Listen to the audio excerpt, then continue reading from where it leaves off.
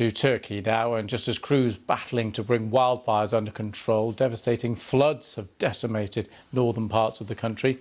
The death toll climbed to 38 on Friday as President Recep Tayyip Erdogan declared flood hit regions as disaster zones.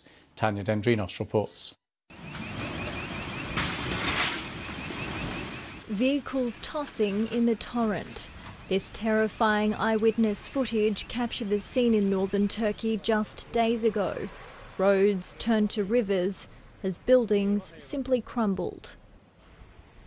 And this is the aftermath a mangled heap of mud, debris, and belongings.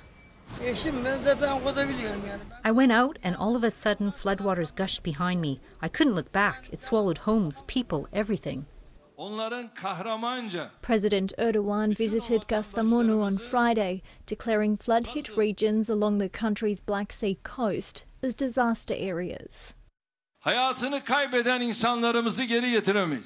We cannot bring back our people who lost their lives, but our state has the power, opportunity, and determination to compensate for any loss other than that.